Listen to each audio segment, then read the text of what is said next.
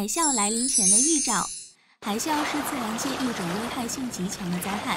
二零一八年九月二十八日，印度尼西亚发生七点四级的地震，并引发了海啸，造成了大量的人员伤亡。那海啸来临前有哪些征兆呢？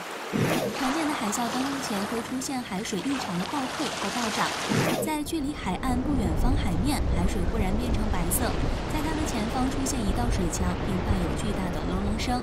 而位于浅海区的船只忽然出现剧烈的上下颠簸。此外，海岸边会出现大量的深海鱼类，以及海水发出滋滋的声响等，都是海啸来临前的预兆。而在海啸频发的国家或地区，会在海滩边设置海啸逃生路线，所以在海边旅行时一定要提前了解这一地区的逃生路线，以便在发现海啸的征兆或听到海啸预警后快速撤离。